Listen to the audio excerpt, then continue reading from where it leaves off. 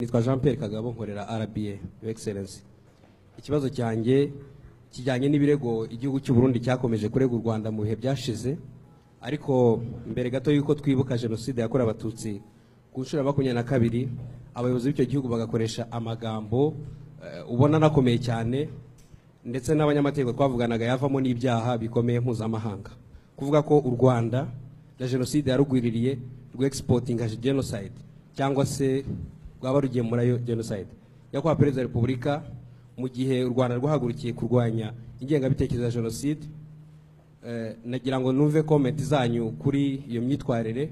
Eh, byatangiye ari ibintu byo kurega u rwanda ibintu bitandukanye ariko noneho icyo ngicyo cyo abanyarwanda bakakibona nk'igitutsi ndetse n'icyaha gikomeye cyo mu rwego mpuzamahanga. Murakoze nyakubahwa perezida wa repubulika.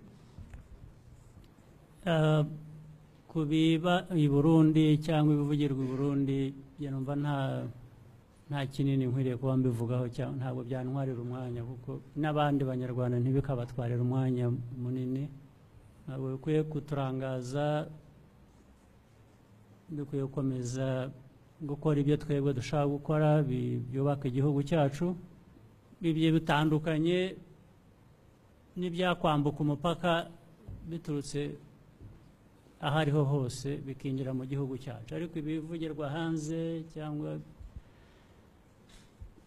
nta- ntabwo numva twajya mu bitutsi ngo batukane tubasubize twese tube kimwe tu- tujye mu gutukana. Ntabwo ibyo numva nabijyamo nta n'umunyarwanda nabwira ko akwiriye kubijyamo.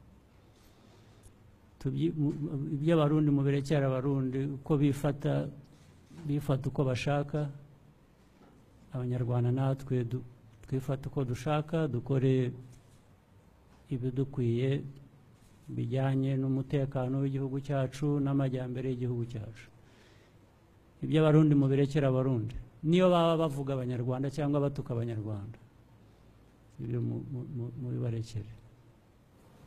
Murakoze nyakubahwa perezida wa repubulika nitwa jerome munyentwari muri radiyo disi na u rwanda rufite intego ko jenoside itakongera kubaho. radiyo disi na tivi teni radiyo disi na tivi teni Ah.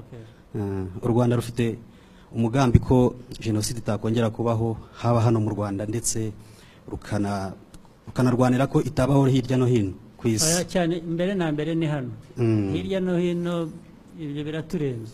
Mm.